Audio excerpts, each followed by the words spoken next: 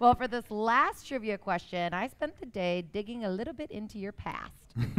and we have a special guest appearance for this next trivia question.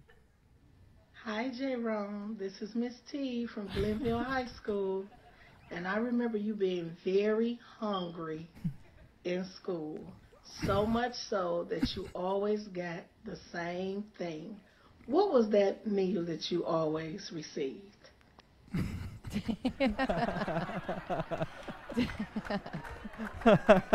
Does, do you know her?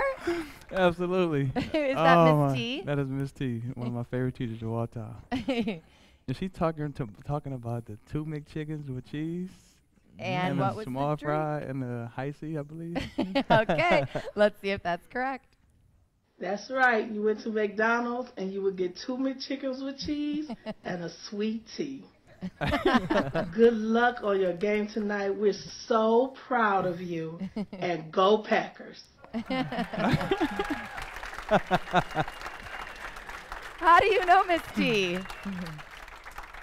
uh, um, Miss T is uh, she was like my big sister, auntie kind of lady that, w- that helped me out a lot. Um, because I couldn't get around to different high school games, so she'd drive, take me and my boys, just drive us around because our moms was at work. Um, so she always looked out for us. You know, I had a sweet tooth. She'd buy me candy when I do good things, and she just looked out for me. And I, that is crazy. That I'm so glad that we got to hear from you.